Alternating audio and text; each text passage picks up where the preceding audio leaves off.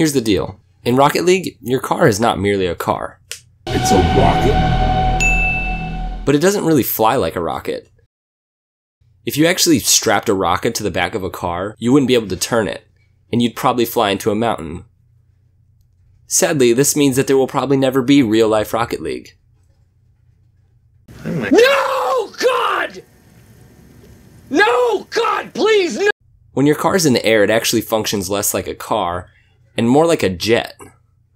To make this point clear, I'm going to be using this thing, basically because it looks like a plane, plus it sounds like.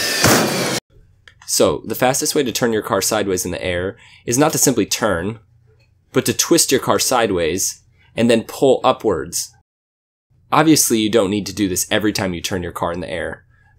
But when you need to change your car's direction and momentum quickly, this is how you should do it. This is why many high level players often fly sideways on their aerials or turn their car sideways to make quicker adjustments. There are countless other ways in which our little battle cars fly like cute little airplanes. You need to gain complete control over your car.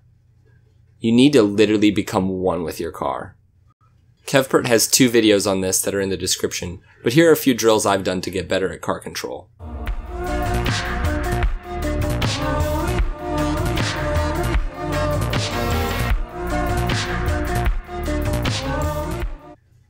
In my opinion, this is the single hardest thing to learn in Rocket League.